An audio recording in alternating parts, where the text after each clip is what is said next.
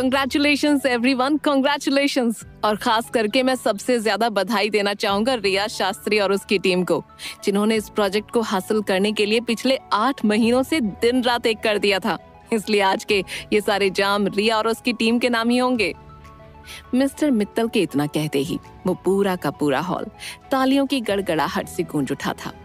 और वहाँ मौजूद हर शख्स रिया को बधाई देने के लिए उससे हाथ मिलाता नज़र आ रहा था। पर धीरे धीरे रात के बढ़ते ही एक एक करके सब अपने अपने घरों के लिए निकलने लगे थे। आज रिया की कामयाबी का दिन था। इसलिए सबके कहने पर उसने कुछ ज़्यादा ही पी ली थी। तभी तो जश्न के खुमार में वो अकेली ही बैठकर गुनगुनाने में लगी हुई थी। क्या रिया, तुम अभी तक यहीं बैठी हो? मैं कितनी देर से बाहर खड़ी होकर तुम्हारा वेट कर रही थी? ये आवाज़ थी आशी की। जो रिया की पर्सनल सेक्रेटरी कम उसकी दोस्त ज़्यादा थी। अरे आशी, तुम क्यों क्या हुआ? मेरा इंतज़ार क्यों कर रही थी? रिया ने लड़खड़ाती आवाज़ में आशी से पूछ लिया। क्या मतलब? आज तुमको घर नहीं जाना है क्या? जतिन कितनी देर से हमारे लिए ही बाहर खड़ा है। आशी, जतिन तुम्हारा बॉयफ्रेंड है, वो तुमको लेने आता है। ये बात तो मेरी समझ में आती है। पर हर बार उसका मेरे लिए रुकना मुझे ठीक नहीं लगता। इसलिए आज तुम जतिन के साथ अकेले ही जाओ। मैं अपने आप घर चले जाऊँगी। नशे में भी रिया को सही गलत का बखूबी अंदाज़ा था। अपनी हालत देखिए तुमने रिया। सीधी खड़ी तक नहीं हो पा रही हो तुम। ऐसे में मैं तुमको अकेले घर जाने देने का रिस्क नहीं उठा सकती। और ये कहकर आशी रिया को अपने कंधों का सहारा देते हुए बाहर गाड़ी तक ले आई। जहाँ उसका बॉयफ्रेंड जतिन बेचैन होकर टहलता हुआ उसके आने का इंतज़ार कर रहा था। लेकिन आज भी आशी के साथ रिया को देखकर उसका मूड खराब हो गया। फिर भी रिया को पकड़ने में उसने आगे बढ़कर आशी की मदद की। इसके बाद उन दोनों ने मिलकर रिया को पीछे वाली सीट पर लेटा दिया। पर वो अपने होश में थी ही कहा, इसलिए शायद लेटते ही सोने लगी। लेकिन गाड़ी स्टार्ट करते ही जतिन का भुन भुनाना चालू हो गया। ये सब क्या है, आशी? रिया तुम्हारी बॉस है, इसलिए मैं कुछ बोलता नहीं हूँ। लेकिन अब तो हद होने लगी है। आज मैं तुम्हारे साथ कुछ वक्त गुजारना चाहता था, पर आज भी ये एक्स्ट्रा लगेज की तरह हमारे साथ चिपक गई है। आशी ने जतिन के मुँह पर हाथ रखकर उसको चुप कराने की कोशिश की। ये तुम क्या कर रहे हो जतिन? थोड़ा धीरे बोलो। अगर कहीं रिया ने सुन लिया तो गजब हो जाएगा। क्या गजब हो जाएगा? अब अगर इसकी कोई पर्सनल लाइफ नहीं है तो इसमें हमारी क्या गलती? बेचारी सिंगल है अभी तक। ऐसे में अकेले घर कैसे जाती? मिंगल होगी किसी के साथ? बंदी में कुछ तो खास बात होनी चाहिए। सिर्फ़ शक्ल ठीक ठाक होने से सब कुछ नहीं होता ना। देर रात तक ऑफ़िस में रुकना, शराब पीना माँ बाप है नहीं तो रोक टोक करने वाला भी कोई नहीं है। काम के अलावा कुछ आता ही कहाँ होगा इसको? जतिन ने रिया के ऊपर व्यंग्य कसने में कोई कमी नहीं छोड़ी थी। लेकिन आपस में बातें करते हुए उन दोनों ने ही पीछे की तरफ़ ध्यान नहीं दिया। क्योंकि जिस रिया को वो नींद में डूबा समझ रहे थे, दरअसल आँखें बंद करके वो उन दोनों की सारी बातें सुन रही थी, जिसका पता उसकी भीगी पलकों से लग रहा था, क्योंकि ये सब सुनकर वो काफ़ी दुखी हो गई थी। ज़िंदगी के जिस मुकाम पर आज मैं हूँ, लोगों को वो नज़र नहीं आता। दिखता है तो बस मेरा अकेला रहना और शादीशुदा ना होना। पता नहीं इनकी नज़रें इससे आगे बढ़कर देख क्यों नहीं पाती। पर ये सब सोचते हुए भी उसने सोने का नाटक उसी तरह से बदस्तूर जारी रखा। आज का दिन उसकी ज़िंदगी का सबसे खास दिन था, लेकिन रात ने जैसे उसके सारे जोश को ठंडा कर दिया था। क्योंकि घर पहुंचकर उसको नशे में देखकर मेर राधा चाची का प्रवचन भी चालू हो गया। कितनी बार कहा है इस लड़की को कि अभी ऑफ़िस ऑफ़िस खेलना बंद करके अपनी शादी ब्याह की तरफ़ सोचे, पर इसको तो जैसे काम के अलावा कुछ और नज़र ही नहीं आता। अब आज ही ऑफ़िस वालों ने न जाने किस खुशी में इसको इतनी शराब पिला दी। राधा चाची का तो ये हर रोज का काम था। इसलिए उनकी बातों को अनसुना करते हुए रिया ने सीधा अपने कमरे में जाकर दरवाजे को अंदर से बंद कर लिया। जतिन और आशी की बातों की वजह से पहले से ही उसका मूड खराब हो चुका था। और अब राधा चाची के भाषण ने बची कुची कसर पूरी कर दी थी। इसलिए रिया ने अपने सैंडल्स को जैसे तैसे कमरे में इधर उधर फेंका और खुद सीधा जाकर अपने आप को बिस्तर के हवाले कर दिया। अगली सुबह उसकी आँख काफ़ी देर से खुली। इसके बावजूद शायद रात के नशे के कारण उसके सर में काफ़ी दर्द हो रहा था। इसलिए उसने रजाई के अंदर से ही राधा चाची को आवाज़ लगाते हुए उनको नींबू पानी लाने के लिए कहा, राधा चाची, मेरे सर में बहुत दर्द हो रहा है। इसलिए प्लीज़ एक गिलास नींबू पानी ले आना। नींबू पानी से पहले ये बताओ बेटा कि अब तुम्हारी तबीयत कैसी है? अपने लिए इस बिल्कुल अनजान सी आवाज़ को सुनकर रिया तुरंत ही रजाई से अपनी गर्दन को बाहर निकालकर उठ के बैठ गई। लेकिन ये क्या हो गया था? क्या वो अभी तक नींद में ही थी या फिर जागती आँखों से ही कोई सपना देख रही थी? क्योंकि इस वक्त उसके सामने चाय का कप लेकर जो औरत खड़ी थी, वो राधा चाची तो बिल्कुल भी नहीं थी। इस तरह से टुकुर टुकुर क्या देख रही हो बेटा? मैं जानती थी, मेरी बेटी को कुछ नहीं हो सकता, वो बहुत बहादुर है। इस तरह से किसी अनजान औरत को अपने कमरे में देखकर रिया पूरी तरह से चौंक गई थी। उस औरत का चेहरा काफ़ी गंभीर और इमोशनल नज़र आ रहा था। आज तुझे मुझसे एक वादा करना होगा कि चाहे कुछ भी हो जाए, लेकिन तू फिर कभी इस तरह से अपने आप को नुकसान पहुँचाने की कोशिश नहीं करेगी। चल खा मेरे सर की कसम। और इसी के साथ उसने रिया की इजाज़त के बगैर उसके हाथों को पकड़कर अपने सर पर रख दिया। उस औरत के हाथ लगाते ही रिया के सारे शरीर में जैसे झुरझुरी सी फैल गई। अजीब मामला था ये। सामने खड़ी औरत ने तो आँखें खोलते ही उसको अपनी बेटी बना लिया था।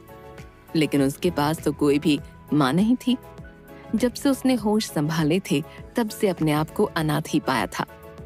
आश्चर्य के मारे रिया की आँखें चार गुना ज़्यादा चौड़ी हो गई थीं। उसके एक एक शब्द में रिया के लिए इतना ज़्यादा प्यार और मनुहार छुपा हुआ था, जो कि सिर्फ़ एक माँ के साथ ही हो सकता था। लेकिन मैं किसी की बेटी कैसे हो सकती हूँ? इस सवाल के साथ ही रिया खुद से खुद को ही झकझोरने में लगी हुई थी। उसने अपनी आँखों को मसलते हुए खुद को जगाने की भी कोशिश की, लेकिन नतीजा हर बार वही निकल कर आ रहा था। पर वो औरत तो रिया को अपने सामने देखकर इतनी खुश हो रही थी कि शायद उसको कुछ भी और सोचने का ध्यान ही नहीं आया था। रिया अभी तक अपनी उस मेंटल स्टेट से बाहर ही नहीं निकल पाई थी। इसीलिए हार कर रेवती, यानी उसकी माँ को ही एक बार फिर से उसको टोकना पड़ा। इस तरह से घूरना बंद कर सुबह सुबह कोई नया नाटक करके मुझे परेशान करने की कोशिश मत कर। वैसे भी तेरे कारण मैं पूरी रात रो चुकी हूँ, इसलिए अब चुपचाप से उठ जा। रेवती ने प्यार भरी झड़की देते हुए उससे कहा, रिया इन सबको सच नहीं मान पा रही थी और इसमें उसको कुछ झूठ भी नज़र नहीं आ रहा था, क्योंकि किससे कहानियों में माँ को लेकर उसने आज तक जितनी भी बातें सुनी थी, रेवती उन सभी पैमानों को पूरा कर रही थी। लेकिन वो तो पिछले 20 सालों से अनाथ होने की अपनी बदकिस्मती के साथ ही जीती आई थी। ऐसे में अब अचानक से ऐसा कुछ भी होने की कल्पना करना बेवकूफ़ी ही कहलाता। वो अभी तक कुछ भी समझ नहीं पाई थी।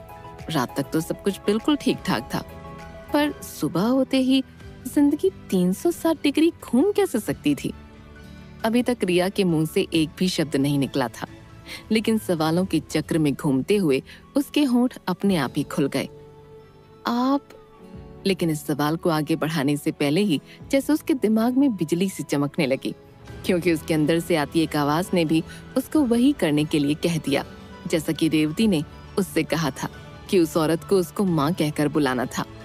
रिया की तो जैसे बुद्धि ही घूम गई, क्योंकि रात में तो वो अपने पलंग पर ही सोई थी, पर इस वक्त वो ज़मीन पर कैसे आ गई थी? कहीं मैं रात को सोते सोते अपने बेड से गिर तो नहीं गई थी? लेकिन क्या नींद में गिरने भर से लोकेशन भी चेंज हो जाती है? और तो और क्या इस तरह से माँ भी मिल सकती है? जब रिया अपने मन में इन सारी बातों को सोचने में लगी हुई थी उसी वक्त रेवती उसके लिए चाय नाश्ता लाने की बात कहकर वहाँ से चली गई। लेकिन उसके जाते ही रिया ने अब जाकर अपनी रुकी हुई सांस को एक ही बार में नीचे करके एक ठंडी आ भरी। My oh God Riya Riya, यहाँ तो सब कुछ सॉलिड तरीके से गड़बड़ लग रहा है। कहीं प्रोजेक्ट हाथ से जाने के कारण फिर राइवल कंपनीज़ की कोई नई चाल तो नहीं है? ऐसा लग रहा था जैसे हमेशा सिंसियरली और लॉजिकली सोचने वाली रिया के दिमाग का वो हिस्सा भी छुट्टी पर चला गया था। इन बातों को सोचते सोचते अब उसके सर में जोरों का दर्द होने लगा था। दवाई का डब्बा देखने के लिए उसने अपनी नज़रों को ऊपर किया और इतनी देर में पहली बार उसकी गर्दन को ठीक तरीके से उस कमरे का मुआयना करने का मौका मिला। और अब जो कुछ भी उसकी आँखें देख रही थीं, उसके लिए वो किसी भी हालत में किसी सदमे से कम नहीं था oh no, where is my TV? AC, laptop, bed? रिया के उस शानदार कमरे का हर ऐशो आराम जैसे किसी ने पलक छपका कर गायब कर दिया था ऊपर से उस चर चर करके घूमते हुए पंखे की आवाज़ जैसे उसको मुँह चिढ़ाने में लगी हुई थी जिसकी हवा इतनी शानदार थी कि उसको भी नहीं लग रही होगी इसीलिए वो झट से अपने दोनों हाथों से सर को पकड़कर बैठ गई। लेकिन सर पर हाथ जाते ही उसे कुछ अलग सा महसूस हुआ। ठीक से टटोलने पर उसको पता चल गया कि उसके सर पर पट्टी बंधी हुई थी, जो कि अभी भी थोड़ी सी गीली लग रही थी, यानी कि शायद उसकी ये चोट अभी भी ताजी ही थी। पर कल तो मेरा कोई भी एक्सीडेंट नहीं हुआ था। फिर मुझे चोट कैसे लग सकती है? इतने में ही ड्रेसिंग टेबल के शीशे पर नज़र पड़ने से उसके मुँह से तो चीख ही निकल गई। ये कौन है? और मैं इसके गेटअप में क्या कर रही हूँ? मेरी शक्ल कहाँ गायब हो गई? उसके इन सभी सवालों का लबो लबाब यही था कि ये रिया होकर भी वो रिया नहीं थी। मगर अगर ये रिया नहीं थी तो फिर उसको अपनी बेटी कहने वाली उस औरत, यानी कि रेवती ने उसको रिया कहकर क्यों बुलाया था? और ये उसके सर पर पट्टी क्यों बंधी थी? क्योंकि बहुत याद करने के बाद भी उसको अपने साथ किसी भी तरह के एक्सीडेंट होने का सबूत नहीं मिल पा रहा था। बस बस बस, अब अगर इसके आगे मैंने कुछ भी सोचने की कोशिश की तो मैं ज़रूर पागल हो जाऊँगी। उसके सवाल तो जैसे खत्म होने का नाम ही नहीं ले रहे थे। तभी उसकी नज़र दीवार पर टंगे एक बेहद पुराने स्टाइल के कैलेंडर पर चली गई। अभी वो उसके पास पहुँचती कि इससे पहले ही अपने हाथों में नाश्ता लेकर एक बार फिर रेवती वहाँ आ गई। क्या देख रही है बेटा? कैलेंडर? हाँ साल के शुरू होते ही तू खरीद कर ले आई थी। कौन सा साल? अब क्या तू ये भी भूल गई कि ये उन्नीस चल रहा है?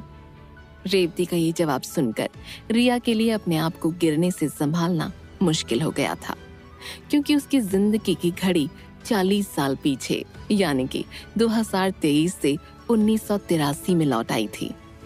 ये सब कुछ जो भी हो रहा था। क्या वो हकीकत नहीं कोई सपना था? कल रात ऐसा भी क्या हुआ था रिया के साथ, जो वो यहाँ आ गई थी?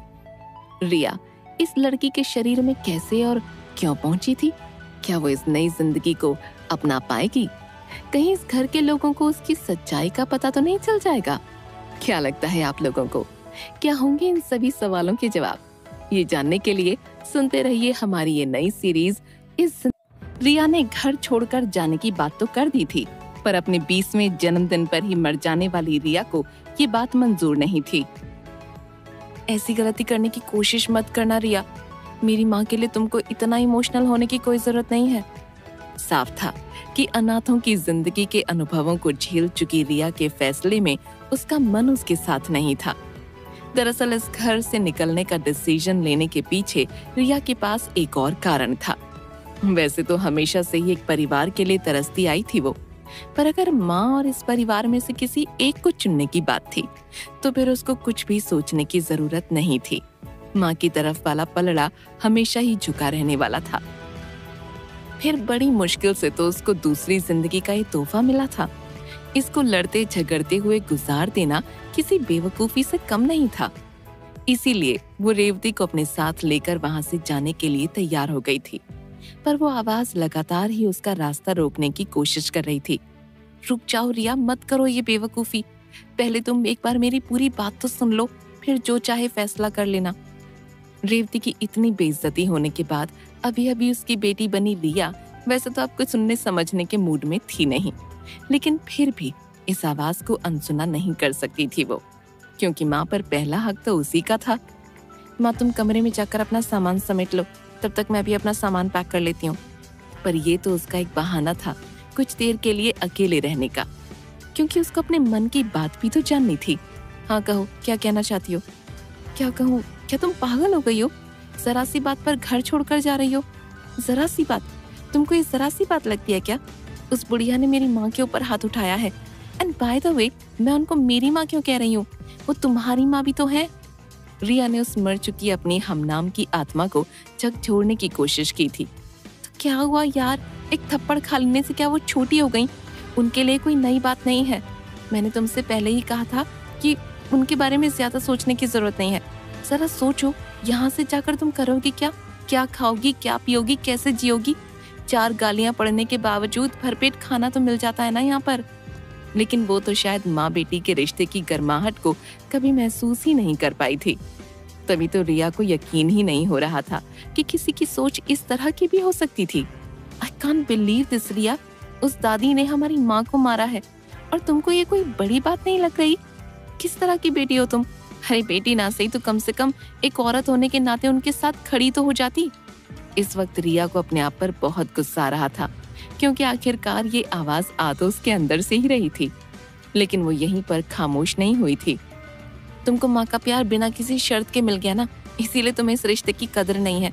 लेकिन जरा जाकर मेरे जैसे किसी अनाथ बच्चे से पूछो तो वो तुमको इस एक शब्द की अहमियत समझा देगा। आज जब मैंने उनको पहली बार माँ कहकर बुलाया था, उसी वक्त से मैं अपने आप को दुनिया का सबसे खुशकिस्मत इंसान मानने लगी। मेरी बात को समझने की कोशिश करो रिया। पर मौत के साथ ही उस रिया के एहसास भी शायद मर गए थे। तभी तो वो अब भी अपनी जिद पर अड़ी हुई थी। पर इक्कीसवीं शताब्दी की रिया ने किसी भी गलत बात के आगे झुकना नहीं सीखा था।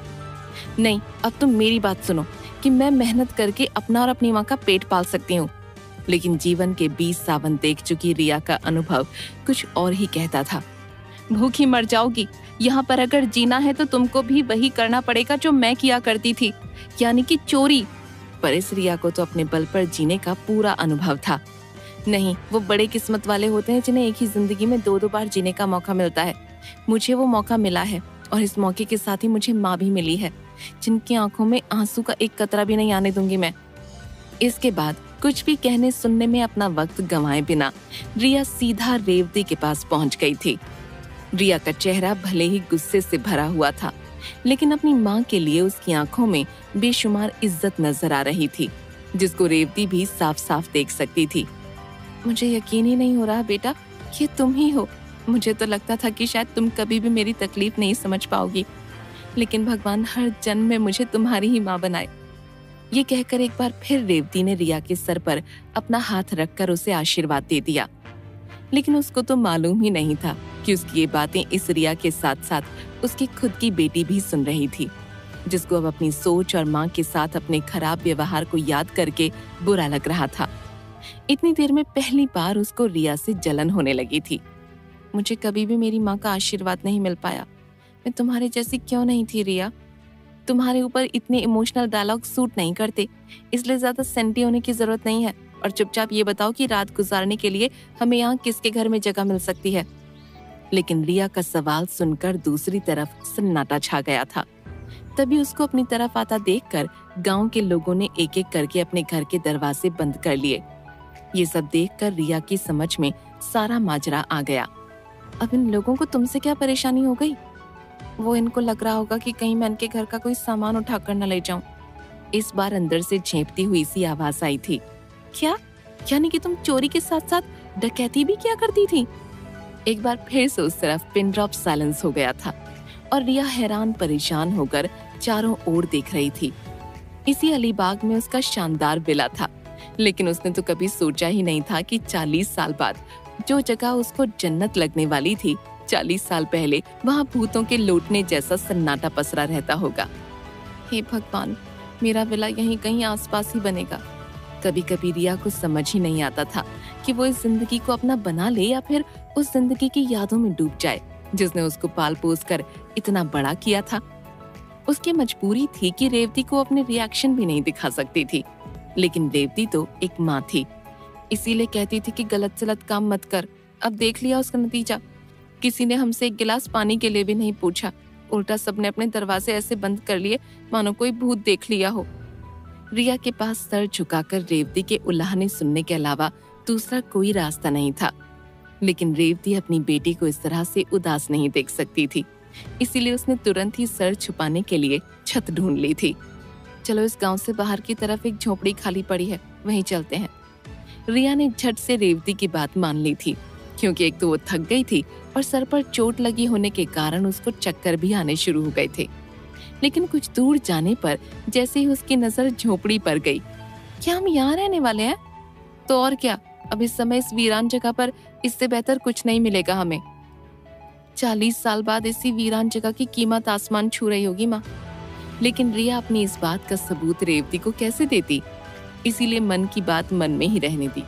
पर यहाँ सब कुछ इतना भी आसान नहीं होने वाला था, क्योंकि रिया को तो मुंबई शहर में अपने पाँच हज़ार वर्ग फुट के पेंट हाउस में रहने की आदत थी। वो भला कैसे यहाँ मच्छरों के बीच में रात गुजार पाती? और इस झोपड़े को तो झोपड़ा कहना भी उसकी बेइज्जती ही होती क्योंकि उसके अंदर रहने और आसमान के नीचे रहने में कुछ खास अंतर नहीं था। कि तुम मुझे कहाँ ले आई माँ? इतनी गंदगी में तो मैं खड़ी भी नहीं हो पाऊँगी। यहाँ की ज़मीन कितनी गंदी और, और बचा बचा मत चूहा। माँ यहाँ तो चूहे भी हैं। मेरे सर के ऊपर मच्छर घूम रहे हैं। ये कहकर घबराते हुए रिया उस झोपड़े से बाहर जाने लगी। कितना मना किया था मैंने कि बिना सोचे समझे घर मत छोड़ो, लेकिन उस वक्त तो हमारी मैडम जी के सर पर आत्मसम्मान का भूत सवार हो गया था। अरे दो चार दिनों में तुम्हें भी उनकी तरह रहने की आदत पड़ जाती, लेकिन नहीं, अपनी तो वैल्यू कभी थी ही नहीं। ना तो ज़िंदा रहते हुए किसी ने बात मानी, न मरने के बाद कोई सुनने को तैयार हुआ। तो भुगतो अब, मुझे क्या करना है? मच्छर कौन सा मुझे काटने आ रहे हैं? अंदर से आती आवाज़ रिया को ताने देने का। एक भी मौका छोड़ने को तैयार नहीं थी। एक तो रिया खुद ही परेशान थी, ऊपर से उसकी बकवास।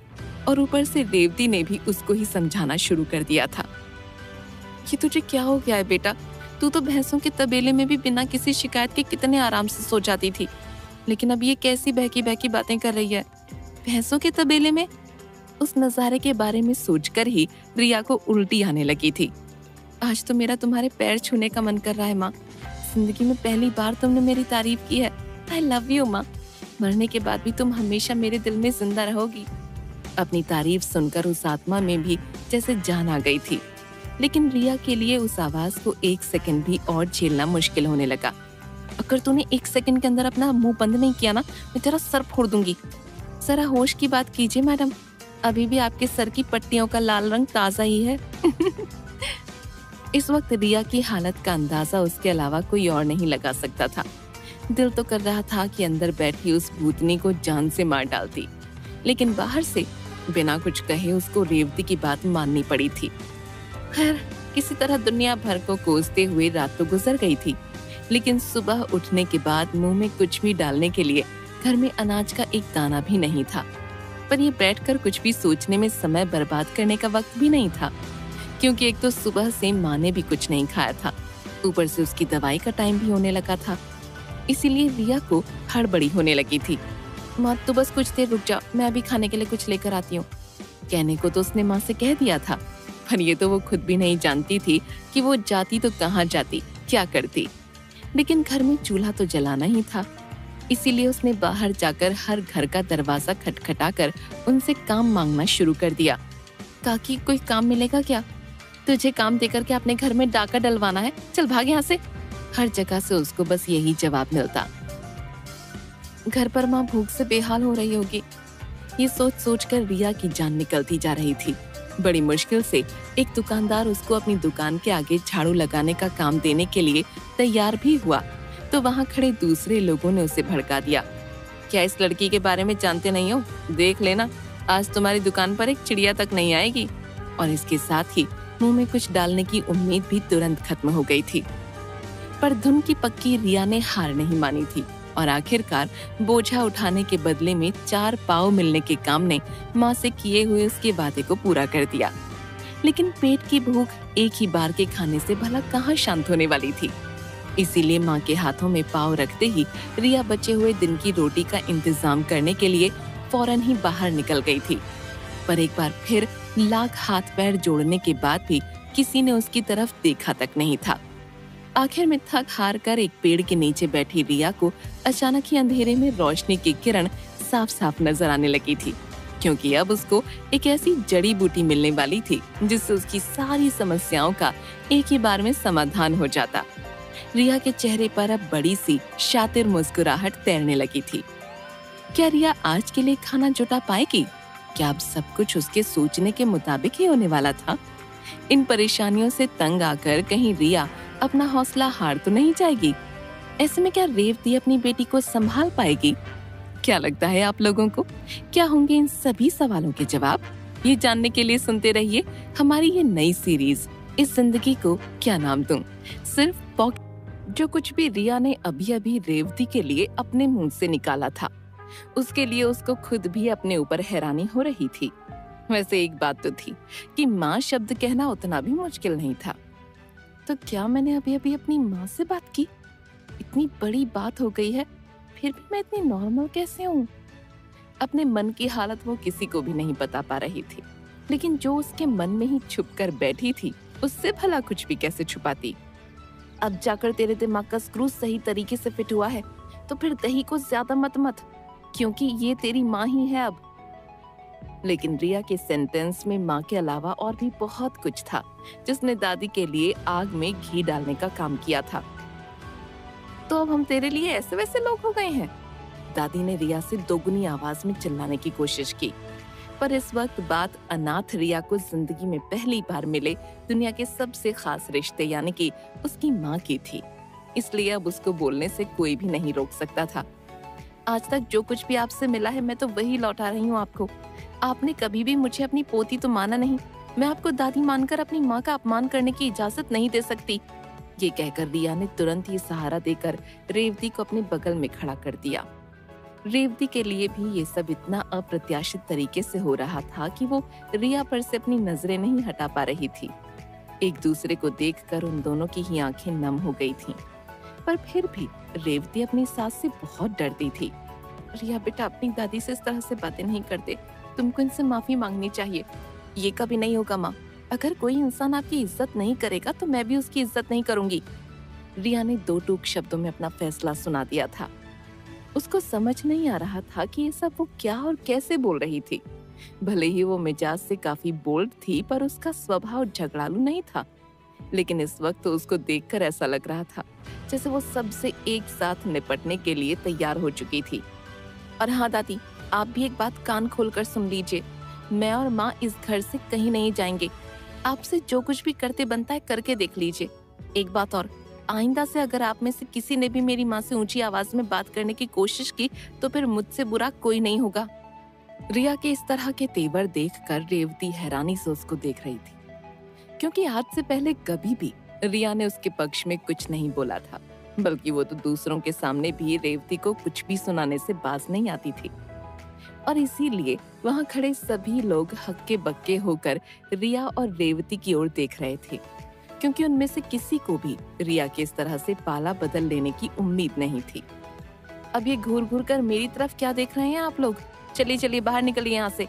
तमाशा खत्म हो गया। इससे आगे के एंटरटेनमेंट के लिए पैसे लगेंगे। सभा समाप्त हो चुकी है। तुझे तो अब अशोक ही समझाएगा। एक बार आ जाने दे उसे। फिर देखना तुम दोनों माँ बेटी का क्या हाल करेगा वो। दादी ने अपने बेटे का नाम लेकर रिया और रेवती को डराने की कोशिश की थी। लेकिन इस रिया को तो पता ही नहीं था कि दरअसल दादी उसके पिता के बारे में बात कर रही थी। इसीलिए इस वक्त उसके ऊपर किसी भी नाम का कोई फ़र्क नहीं पड़ा था। अशोक हो या विशोक, मैं किसी से नहीं डरती। याद रखना तुम लोग। दरअसल दादी ने रिया के सामने रेवती की बेइज्जती करके जैसे किसी नागिन के सर पर पैर रख दिया था। उस रिया के अपनी माँ के साथ रिश्ते चाहे जैसे भी रहे होंगे, लेकिन ये रिया किसी भी हालत में अपनी माँ के खिलाफ एक शब्द भी सुनने को तैयार नहीं थी। किसी को भी समझ नहीं आ रहा था कि आखिर रिया को हो क्या गया था। कहीं सर पर चोट लग जाने के कारण उसका दिमाग तो खराब नहीं हो गया था। जबकि रिया को अब अपने सर पर लगी उस चोट के बारे में जानने की जल्दी थी। इसलिए सभी के वहाँ से निकलने पर जैसे ही वो कमरा खाली हुआ, रिया धम से आकर अपने बिस्तर पर बैठ गई और सबसे पहले उसने अपनी नई वाली दोस्त को आवाज़ लगाई। हाँ जी, मैडम जी अब बताओ कि ये पूरा मामला क्या है? असल में तुम हो कौन और ये सारी की सारी पलटन यहाँ पर क्यों आई थी? लेकिन दूसरी तरफ़ से कोई भी आवाज़ नहीं आई थी। कमाल है। अभी कुछ देर पहले तक ज़बरदस्ती घुस घुस कर बोल रही थी।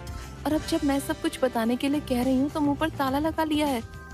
रिया ने उस आवाज़ को उकसाने की कोशिश की थी, जिसका नतीजा भी उसको तुरंत ही मिल गया था और उसको अपना मुँह खोलना पड़ा था। मैं रिया हूँ, लेकिन शायद रिया को उसका जवाब ठीक से समझ नहीं आया था। वो तो मैं हूँ, इसलिए जो भी कहना है साफ़ साफ़ कहो। मेरा मतलब है कि इस वक्त तुम जिस शरीर में हो, वो मेरा है और मेरा भी नाम रिया ही है। इस बार उस मरी हुई रिया को अपनी बात ठीक से समझानी पड़ी थी। पर इस वक्त सिचुएशन कुछ ऐसी थी कि रिया के पास सवालों की लंबी चौड़ी लिस्ट तैयार हो गई थी। इस बात का अंदाज़ा तो मुझे पहले से ही हो गया था। इसलिए अच्छा ही हुआ जो तुमने अब कंफर्म कर दिया। लेकिन तुम हो कहाँ?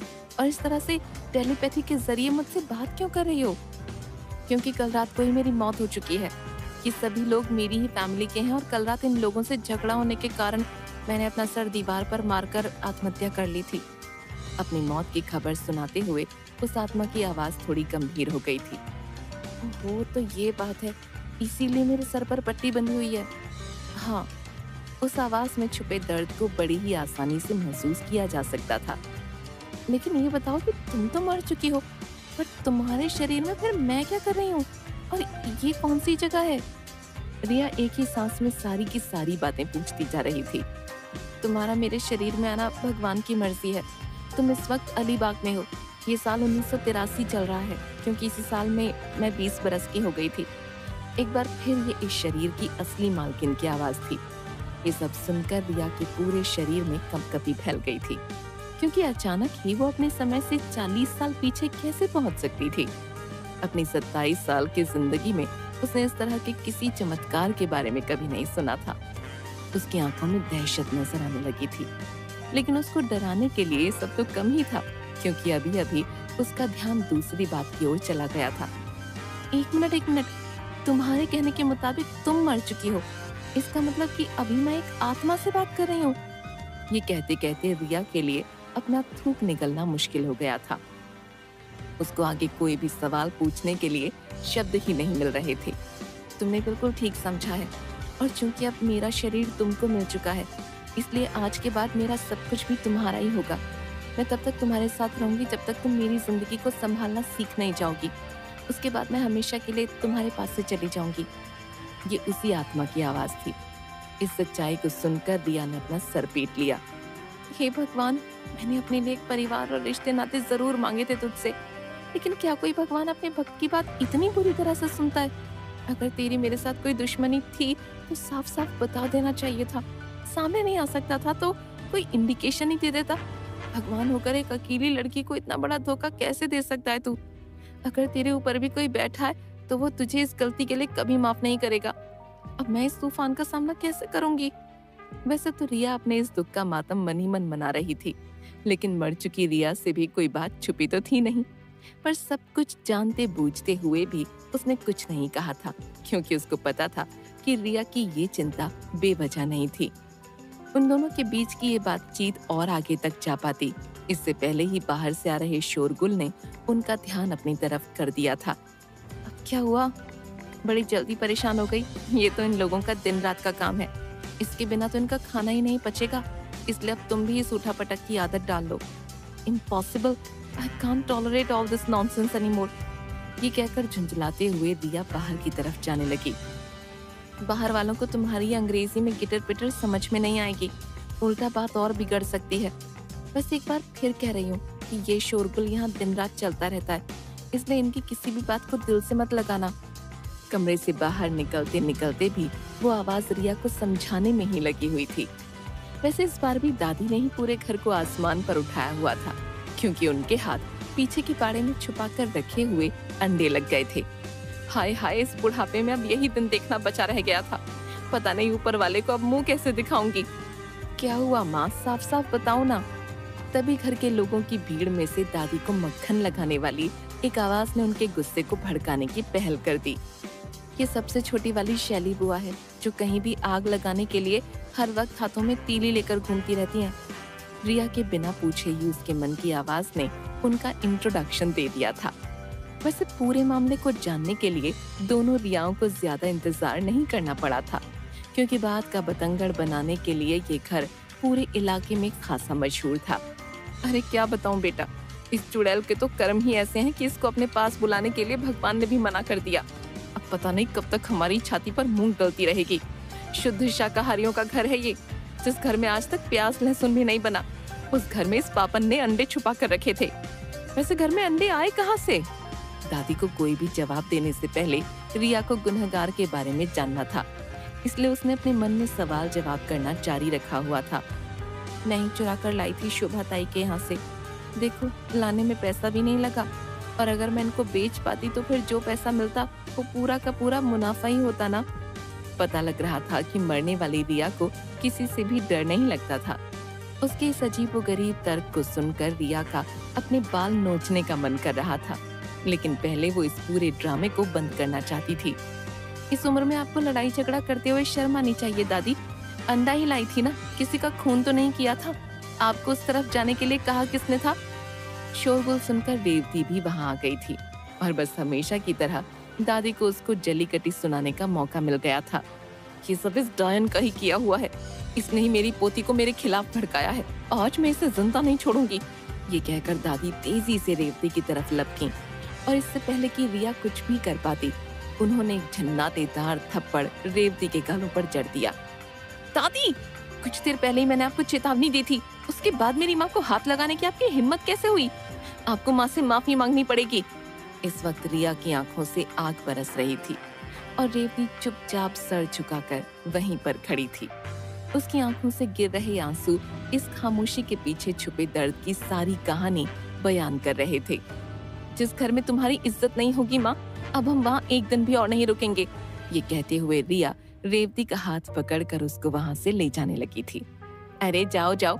दो दिनों में आटे दाल का भाव पता चल जाएगा। तो खुद ही रोती गिड़गिड़ाती हुई वापस आ जाओगी।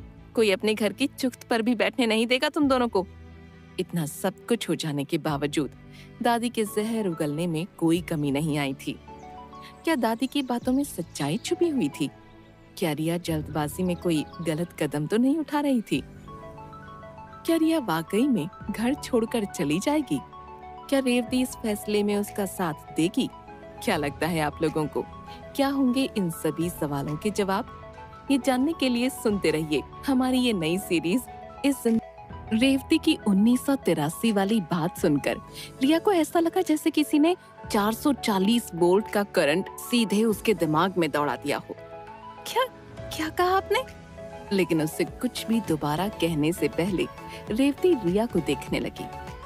एक अजीब सा सवाल था उसकी आँखों में, जिसे वो पूछना तो चाहती थी, लेकिन मुँह से निकाल नहीं पा रही थी। क्योंकि उसकी बेटी ने अपनी माँ के साथ बैठकर बातचीत करने वाला रिश्ता कभी रखा ही कहा था? फिर अभी रिया की तबीयत भी बिल्कुल ठीक नहीं थी। ऐसे में उसको सबसे ज़्यादा ज़रूरत अपनी माँ की ही थी। क्या बात है बेटा? क्या अभी भी तबीयत ठीक नहीं लग रही है? रेवती ने बड़े ही प्यार से रिया के सर पर हाथ फेरते हुए, लेकिन संभल संभल कर कहा था, क्योंकि अपनी बेटी के गुस्सेल स्वभाव से वो बहुत अच्छी तरह से वाकिफ थी। उसका मूड कभी भी बिगड़ सकता था। क्यों? क्या हुआ? रेवती का सवाल सुनकर रिया अपने आप को नीचे से ऊपर तक चेक करने लगी कि कहीं रेवती को उसके ऊपर किसी तरह का शक तो नहीं हो गया? कुछ नहीं, बस तेरे मुँह से अपने लिए कभी आप शब्द सुनने की आदत ही नहीं रही ना। घर में अगर किसी को भी अपने गुस्से का बिल फाड़ना होता था तो फिर रेवती को कोसने का काम शुरू हो जाता था। और उसमें खुद उसकी बेटी भी सबके सुर में सुर मिलाने से पीछे नहीं रहती थी। रिया को इस बारे में अभी तक कुछ भी मालूम नहीं था, लेकिन रेवती की आँखों का दर्द वो आराम से पढ़ पा रही थी। अपने इस नए रिश्ते को वो अभी तक समझ तो नहीं पाई थी, लेकिन फिर भी सामने खड़ी इस दुबली पतली गाय की नम आँखें उसको बेचैन कर रही थीं। उसका बहुत मन कर रहा था कि वो भी रेवती को माँ कहकर बुलाती। कई बार ये शब्द उसकी जबान तक आ भी गया था। लेकिन ये सब जितना मामूली लग रहा था, उतना था नहीं। हर बार उसको ऐसा लगता जैसे किसी ने उसके शरीर का सारा खून ही निचोड़ लिया हो और वो पसीने से नहाने लगती। तभी रिया को किसी के खिलखिलाकर हंसने की आवाज़ सुनाई देने लगी। अरे, बोल दो बोल दो, अब तो ये तुम्हारी ही माँ है। कौन है? कौन है? ये कहकर वो हड़बड़ाते हुए चारों ओर देखने लगी। क्योंकि रेवती ने तो अभी अभी कुछ कहा ही नहीं था। रेवती को रिया की इस घबराहट का कारण भले ही पता नहीं था, लेकिन उसकी परेशानी को अब वो देख नहीं पा रही थी। क्योंकि रिया का जख्म अभी बिल्कुल ताज़ा था और रात में खून भी काफ़ी बह चुका था। इसलिए रेवती ने सोचा कि दर्द और कमज़ोरी की वजह से भी रिया बेचैन होगी। मैं जानती हूँ बेटा कि तू इतनी घबराई हुई क्यों है? तो क्या इनको सब पता चल गया? और रिया नज़रें चुराकर अपने दिमाग में पटर पटर कर रही उस आवाज़ के साथ व्यस्त होने लगी। यार, तू सोचती बहुत ज़्यादा है। बाय गॉड किसी को भी पता चल जाएगा। बिंदास रहना। कौन? कौन है? एक बार फिर रिया की तरफ़ से वही वाला रिएक्शन आया। लेकिन अब रेवती से अपनी बेटी की खराब होती हालत नहीं देखी जा रही थी। लग रहा है तेरा दर्द बढ़ने लगा है। एक काम कर, जल्दी से ये मटर पोहे खा ले, फिर दवाई लेकर सो जाना। देखना, उठने के बाद तुझे अपनी तबीयत ठीक लगने लगेगी। तेरी माँ ने अपने हाथों से बनाए हैं तेरे लिए। वैसे भूख तो रिया को ज़बरदस्त लगी थी। उसके ऊपर से पोहे की गरम गरम खुशबू उसको लालच भी दिला रही थी। इन सब के साथ जैसे ही उसको पोहे माँ के हाथों से बने होने के बारे में पता चला, उसने आव देखा न दाव। बस झट से रेवती के हाथों से प्लेट अपने हाथों में ले ली और देखते ही देखते प्लेट को इस तरह से सफाचट कर दिया कि उसको धोने की कुछ खास ज़रूरत नहीं लग रही थी। इतना टेस्टी पोहा मैंने आज से पहले कभी नहीं खाया था। रिया की बात सुनकर रेवती के उदास से चेहरे पर मुस्कुराहट आ गई।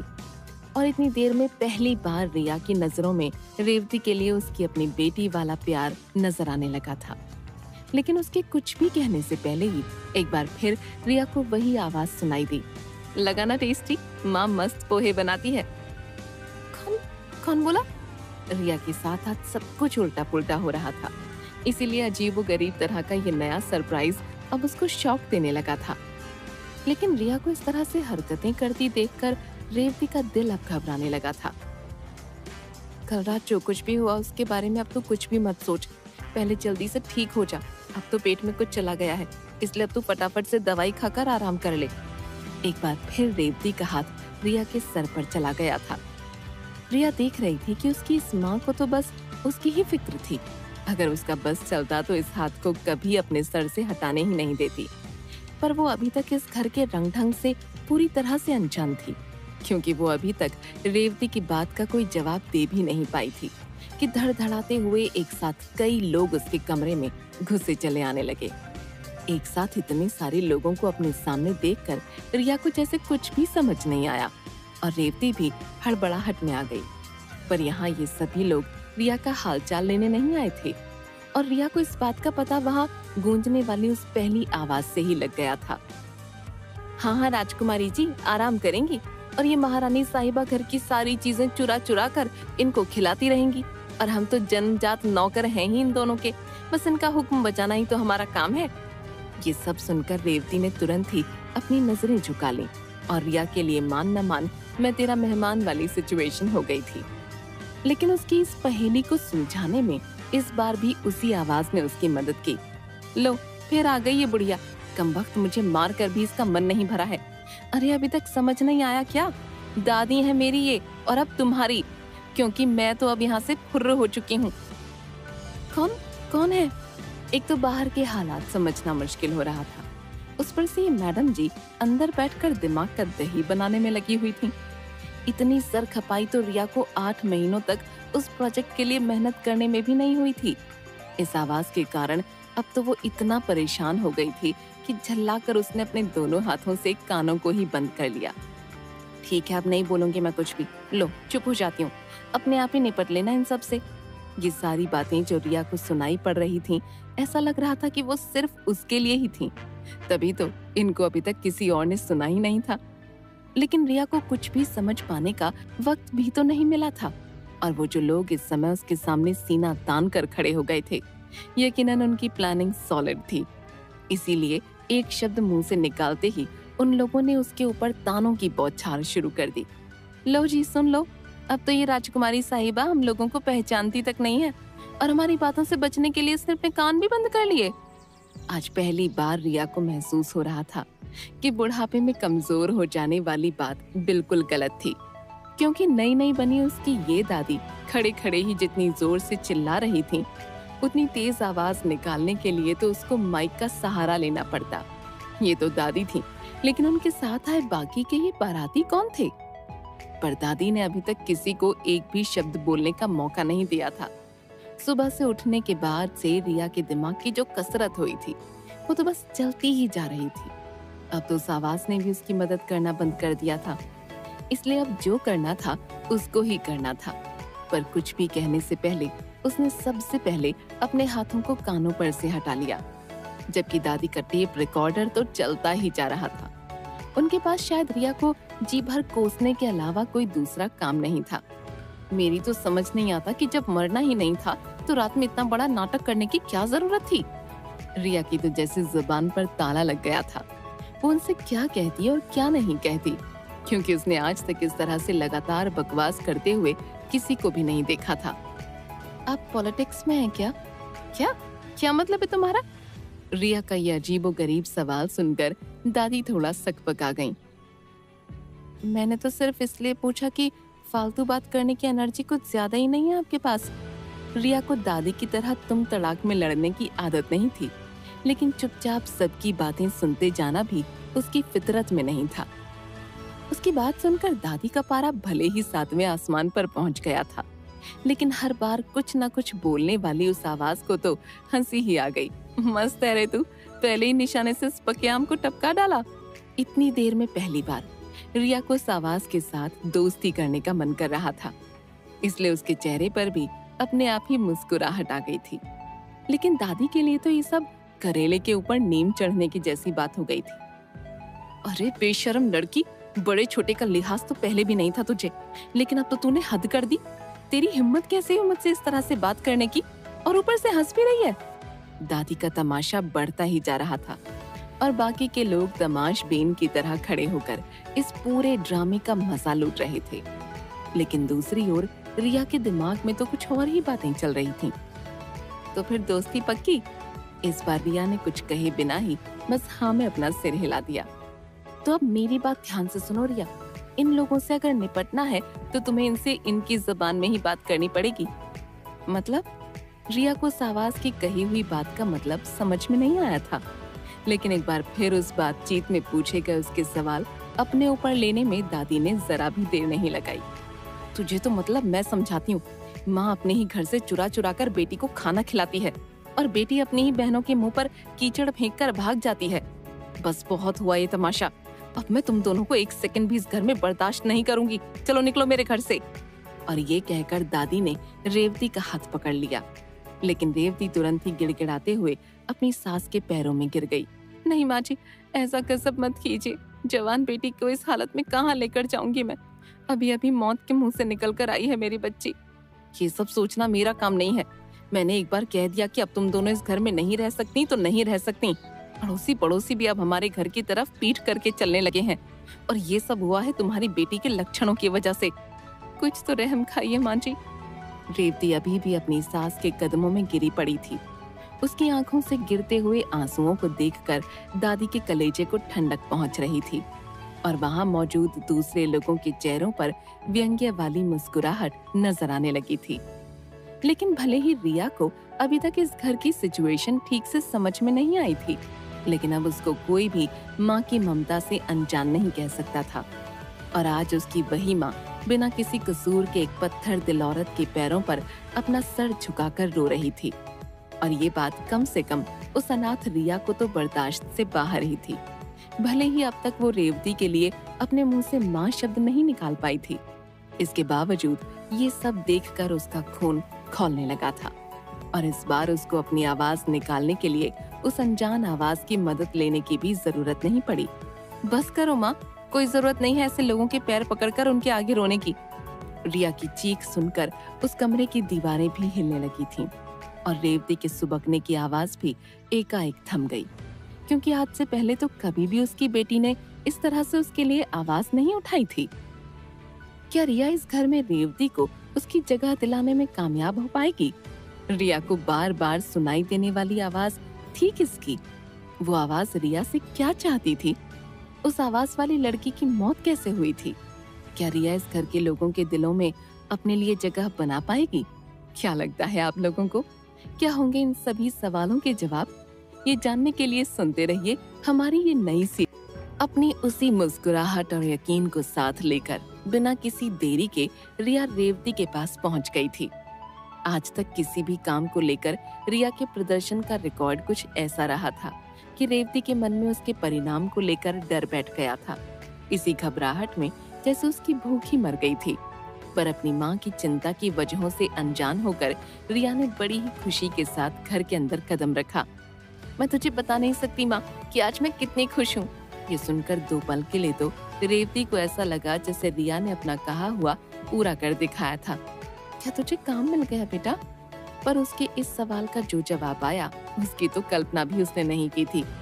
अब तो इस काम वाम के बारे में सोचना छोड़ दे माँ, क्योंकि तेरी बेटी ने सोच लिया है कि उसे क्या करना है। रेवती के माथे पर पड़े हुए पल अब और भी गहरे होने लगे थे, क्योंकि रिया के इस तरह के हवाई किलों से उसको हमेशा से ही बहुत घबराहट होती थी। अब क्या सोच लिया तूने? रेवती के मुँह में रखा हुआ पानी गले के नीचे नहीं उतर पा रहा था। माँ तेरी बेटी ने फैसला किया है कि वो नौकरी करेगी। और देखना, जल्दी हमारे पास भी बंगला, गाड़ी, नौकर, चाकर सब होंगे। रिया की सोच उसकी काबिलियत के मुताबिक ही थी। उसने कोई मज़ाक नहीं किया था, क्योंकि आखिर पूरे एशिया में लगातार पाँच सालों तक एम्प्लॉय ऑफ़ द ईयर का अवार्ड अपने नाम करना कोई हँसी का खेल तो था नहीं। पर इन सब में वो ये भूल रही थी कि इस वक्त वो वो नहीं थी जिसके बल पर उसको अपने नाम के झंडे गाड़ना इतना आसान लग रहा था। लेकिन रेवती ये भूलने की गलती नहीं कर सकती थी कि जिस लड़की को दूध का बर्तन उठाकर रसोई तक लाने में भी पसीने आ जाते थे, आज वो नौकरी करने की बात कर रही थी। बस यही सोचकर रेवती के मुँह में फंसा हुआ पानी अपने आप ही बाहर आ गया और वो ज़ोर ज़ोर से खांसने लगी। क्या? क्या कहा तूने? तू नौकरी करेगी? रेवती की घबराहट उसकी आवाज़ से ही समझी जा सकती थी। तेरी तबीयत तो ठीक है ना बेटा? कहीं सर पर लगी चोट का असर तेरे दिमाग पर तो नहीं हो गया। वैसे भी आजकल तू मुझे बदली बदली सी लगने लगी है। तू अब कुछ मत सोच और थोड़ा खाकर आराम कर ले। रिया का हाथ अपने हाथों में लेकर रेवती उसको बड़े ही प्यार से समझाने लगी थी। ऐसा नहीं था कि रिया से अपनी माँ का डर छुपा हुआ था। इसीलिए पहले वो रेवती का विश्वास जीतना चाहती थी। अरे माँ, तू परेशान क्यों होती है? बस तू अपनी बेटी पर भरोसा रख। लेकिन रिया का ये दिलासा रेवती के लिए नाकाफी ही था, क्योंकि वो हमेशा से रिया की हरकतों को देखती आई थी। अब मैं तुझसे कैसे कहूँ बेटा कि मुझे वाकई में तेरी इन बातों का बिल्कुल भी भरोसा नहीं है? ऐसी बातों को दिमाग में लाते हुए भी रेवती को बुरा लग रहा था।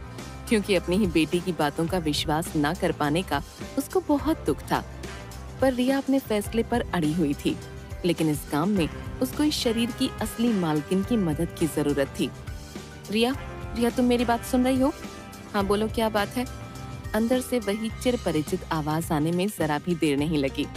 तुम्हारे सारे सर्टिफिकेट्स और मार्कशीट कहाँ रखे हैं?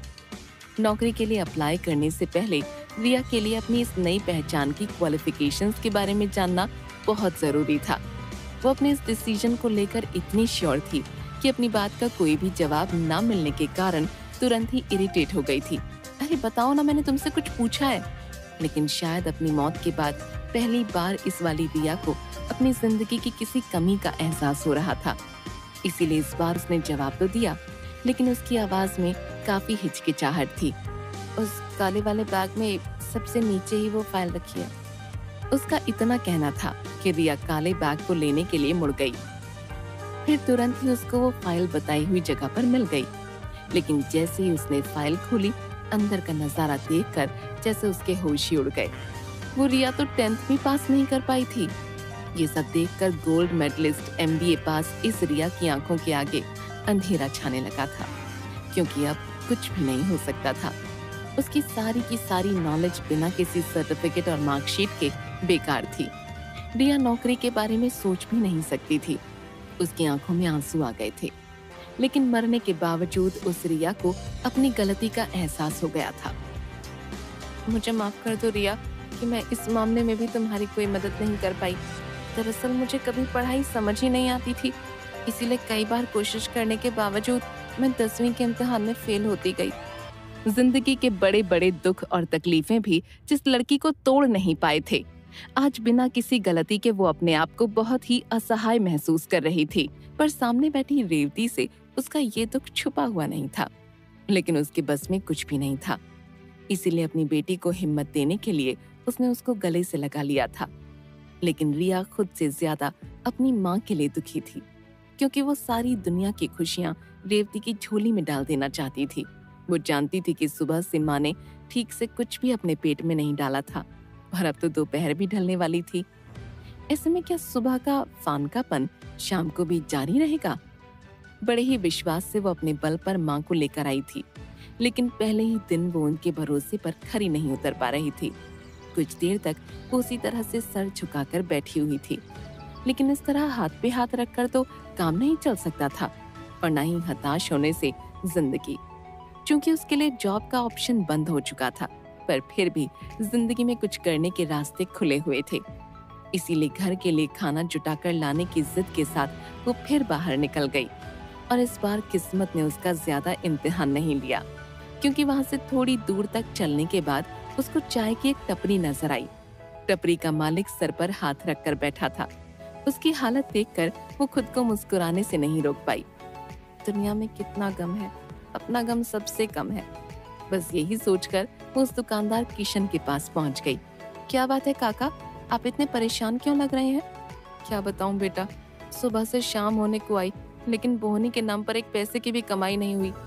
सब कहते हैं कि अगर ऐसी ही चाय पीनी है तो फिर बाहर जाकर पैसा क्यों खर्च करें? बेटा, अगर रात तक मेरी कुछ भी कमाई नहीं हुई तो फिर मेरे बच्चों को भूखा ही सोना पड़ेगा।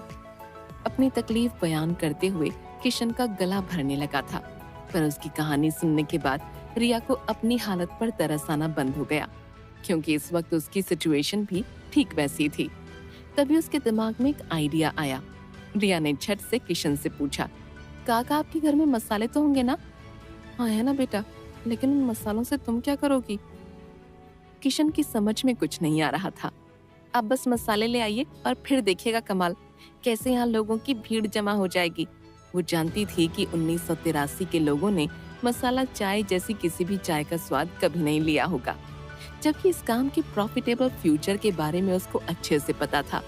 उसका आत्मविश्वास देखकर किशन ने आगे कुछ भी पूछना सही नहीं समझा और चुपचाप अपने घर से मसालों के सारे के सारे डब्बे उठा कर ले आया। पर इस काम में हाथ डालने से पहले ही रिया के लिए कुछ बातों को साफ़ करना ज़रूरी था। लेकिन काका, इस काम में हमको जितना भी मुनाफा होगा, हम उसको आधा आधा बांट लेंगे, क्योंकि इस वक्त हालत के हिसाब से हम दोनों ही एक नाव की सवारी कर रहे हैं। किशन को इस बात से कोई भी आपत्ति नहीं थी, क्योंकि उसको तो वैसे ही यकीन नहीं था कि रसोई में रहने वाले ये मसाले उसकी किस्मत को पलटने का कमाल भी दिखा सकते थे। मुझे तुम्हारी शर्त मंजूर है, बस फिर क्या था? कुछ ही मिनटों के अंदर रिया ने मामूली लगने वाले रसोई के उन्हीं मसालों से ऐसी शानदार मसाला चाय तैयार कर दी, जिसकी खुशबू को सूंघते हुए आने जाने वालों के पैर अपने आप ही उस टपरी के सामने रुकने लगे। उसके बाद तो रिया और किशन दोनों को सर उठाने की फुर्सत नहीं मिल पाई। यहाँ तक कि दुकान बंद करने के लिए उन्हें लोगों को बिना चाय पिलाए ही लौटाना पड़ा। उन कुछ घंटों के अंदर ही किशन की चाय अड़ोस पड़ोस के गाँवों तक मशहूर हो गई। क्योंकि 40 साल पहले इस तरह की मसाला चाय का कोई चलन नहीं था। इसीलिए सभी को उसका स्वाद किसी अमृत से कम नहीं लगा था। उसके बाद रात में जब रिया को उसकी कमाई का हिस्सा मिला तो वो पूरे पाँच सौ रूपए थे। यानी अब कुछ दिनों तक तो घर का खर्चा चल ही सकता था। वैसे तो रिया के लिए ये रकम बेहद मामूली सी ही थी, लेकिन फिर भी उन नोटों को अपने हाथों में लेकर उसकी आँखों में आँसू आ गए थे। क्योंकि आज पहली बार उसने अपने लिए नहीं, बल्कि अपनी माँ के लिए कमाई की थी। उसके बाद तो रिया के कदम दो सेकंड भी उस जगह पर नहीं रुके। किशन से भी अपनी खुशी छुपाए नहीं छुप रही थी। वो उससे कल आने के बारे में पूछता रह गया, पर रिया को तो जैसे किसी की भी आवाज़ सुनाई नहीं दे रही थी। क्योंकि उसकी माँ घर पर भूखी बैठी अपनी बेटी के आने की बात जो रही थी। रिया ने जल्दी जल्दी खाने पीने का ढेर सारा सामान खरीदा। और भागते हुए अपने उसी झोपड़े में पहुँच गई। कल तक जिस जगह पर पैर रखने में वो नाक बहुत सिकोड़ रही थी, लेकिन आज वही जगह उसके लिए किसी जन्नत से कम नहीं थी। क्योंकि उसी झोपड़े की ज़मीन पर पैर रखकर पहली बार उसने रेवती के हाथों में उसकी बेटी की पहली कमाई रखी थी। मैंने कहा था ना माँ कि अपनी बेटी के होते हुए तुमको किसी भी बात की चिंता करने की ज़रूरत नहीं है। रिया के शब्दों को सुनकर रेवती की पलकें गीली होने लगी थीं। पर होठों पर मुस्कुराहट के आने से पहले ही उसके चेहरे पर आशंकाओं के बादल घिरते नज़र आने लगे, जिन्हें देखकर रिया को रेवती का डर समझने में देर नहीं लगी। कुछ भी मत सोचो माँ, क्योंकि ये सब कुछ तुम्हारी बेटी किसी के घर से चुरा कर नहीं लाई है। तेरे हाथों पर रखे हुए ये पैसे मैंने अपनी मेहनत से कमाए हैं। रिया की इस बात ने रेवती की मुस्कान उसको लौटा दी। आज तूने मुझे मेरी ज़िंदगी की सबसे बड़ी खुशी दी है, रिया। तूने तो पलक झपकते ही मेरे सारे दुखों का अंत कर दिया। जिस गाँव में कभी मेरी आँखें शर्म के मारे झुकी रहती थी, आज उसी जगह पर तूने मेरा सर गर्व से ऊँचा उठा दिया। रेवती के आशीर्वाद के खजाने ने इस ज़िंदगी में आने के रिया के सारे मलाल को धो दिया था। तभी रिया के शरीर में एक अजीब सी हलचल होने लगी। वो तुरंत ही समझ गई थी कि उसके मन में बैठी रिया उससे बात करने के लिए बेचैन होने लगी। बड़ी भूख लगी है, माँ। तू फटाफट से खाना लगा दे, मैं बस दो मिनट में बाहर से आती हूँ। पहले वाली बात होती तो रेवती सवालों की झड़ी लगा देती, पर उसको अपनी बेटी पर अब पूरा भरोसा हो चुका था। इसलिए उसने कुछ नहीं पूछा। लेकिन इधर जैसे ही रिया बाहर आई, उसको कुछ भी बोलने का मौका नहीं मिल पाया। मैंने तुमसे कहा था ना रिया, कि जिस दिन तुम मेरी ज़िंदगी को संभालना शुरू कर दोगी, उसी दिन मैं हमेशा के लिए इस शरीर से निकल जाऊँगी। आज ना सिर्फ़ तुमने मेरी इज़्ज़त को संभाल लिया, बल्कि ये भी साबित कर दिया कि मेरी जगह तुमको लाकर उस ऊपर वाले ने कितना सही फैसला किया था। इसलिए अब इस फैसले के रास्ते पर ही हम दोनों को आगे बढ़ना होगा। लेकिन अभी तो रिया अपनी उस नटखट दोस्त के साथ, न जाने कितनी बातें करना चाहती थी। पर हमेशा की तरह आज भी उसने रिया को कुछ भी बोलने का मौका नहीं दिया। नहीं रिया, आज मुझे रोकने की कोशिश मत करना, क्योंकि अब मेरा काम खत्म हो चुका है, इसलिए मुझे जाना ही होगा। और इतना कहकर वो रोशनी रिया से अलग होते हुए धीरे धीरे आकाश की गहराइयों में खो गई और रिया ज़मीन पर खड़ी खड़ी बेबस आँखों से उसे देखती रह गई, क्योंकि उसको तो कुछ भी कहने का मौका ही नहीं मिल पाया था। क्या रिया अपनी दोस्त के विश्वास पर खरी उतर पाएगी?